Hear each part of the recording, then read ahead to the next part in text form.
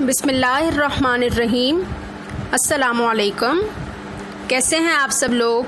उम्मीद करती हूँ कि आप सब जहाँ भी हैं, खैरियत से होंगे। और मेरी दुआ है कि अल्लाह ताला सबको हमेशा खुश रखे, सबकी हिफाजत फरमाए, सबको अपने हिफ्ज़ अमान में रखे। आमीन सुम आमीन। इस दुआ के साथ अपनी रेसिपी का आगाज़ करूँगी। आज हम बना रहे हैं बहुत ही मज़ेदार बहुत ही डिफरेंट रमज़ान स्पेशल में पोटैटो पॉप्सिकल्स बहुत ही मज़े के और बहुत ही सिंपल हैं।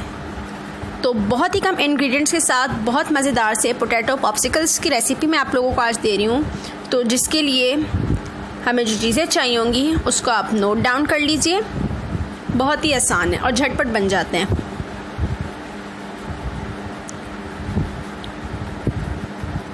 बॉयल आलू मैंने लिए हैं तीन अदद लार्ज साइज़ के, बड़े वाले। जिसको मैंने बॉईल करके मैश कर लिया है। हरा धनिया लेंगे टू टेबल स्पून चॉप्ड किया हुआ। नमक लेंगे, हसबे जायका, आप अपने टेस्ट के मुताबिक ले सकते हैं। कुटी हुई लाल मिर्चें लेंगे वन टेबल स्पून काली मिर्चों का पाउडर लेंगे वन टेबल स्पून साबुत धनिया और ज़ीरा क्रश किया हुआ लेंगे वन टेबल स्पून दोनों मिक्स रहेंगे और साथ में ही चाट मसाला लेंगे वन टेबल स्पून ये चीज़ें हमें स्टफिंग के लिए, आलू की स्टफिंग के लिए चाहिए।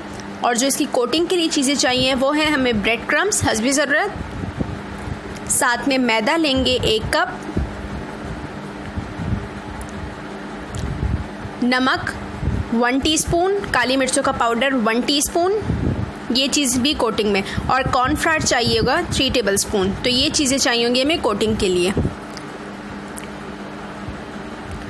तो सबसे पहले आलू के अंदर हम शामिल करेंगे चाट मसाला। काली मिर्चों का पाउडर। नमक, साबुत धनिया और ज़ीरा, क्रश किया हुआ, कुटी हुई लाल मिर्चें, हरा धनिया, इसको मिक्स कर लेंगे अच्छे से।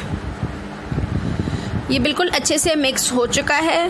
हर चीज़ एक साथ मिक्स हो गई है आलूओं में। तो अब हम इसका जो बैटर है, वो हम रेडी कर लेंगे। मैदे के अंदर हम शामिल करेंगे कॉर्नफ्लावर नमक और काली मिर्च। इसको मिक्स कर लेंगे अच्छे से।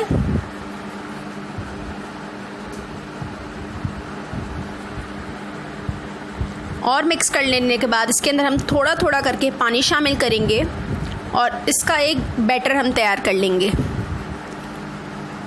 ये कोटिंग के लिए हम बैटर तैयार कर रहे हैं। तो ये बैटर मैंने रेडी कर लिया है। इसके अंदर हसब ज़रूरत पानी आप शामिल कर दें। इस तरह की बैटर की कंसिस्टेंसी होनी चाहिए, ठीक है? तो अब जो है हम ये आलू का जो हम मिक्सचर है, हम इसको लेंगे और देखें, इसको मैं शेप दे रही हूँ।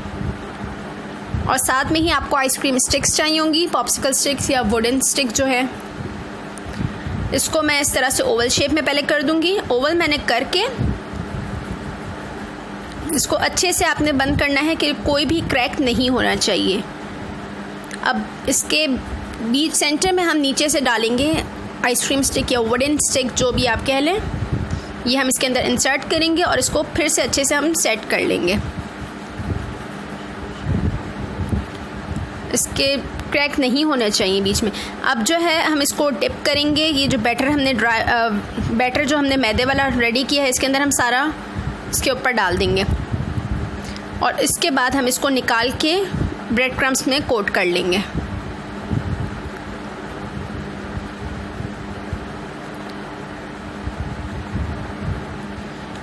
तो ये देखें मैंने अच्छे से ब्रेड क्रम्स से इसको कोट कर लिया है।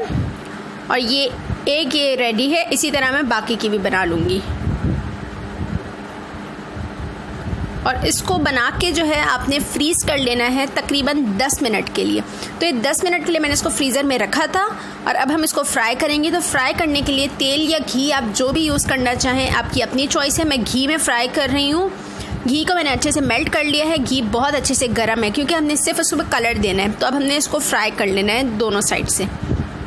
सिर्फ़ जस्ट गोल्डन कलर मेरा ये तकरीबन घी बहुत अच्छे से गर्म था तो मेरा ये एक मिनट के अंदर अंदर मेरे दोनों फ्राई हो चुके हैं। तो ये तैयार है, बहुत ही मज़ेदार और बहुत ही आसान पोटैटो पॉप्सिकल्स और बहुत ही झटपट बन जाते हैं।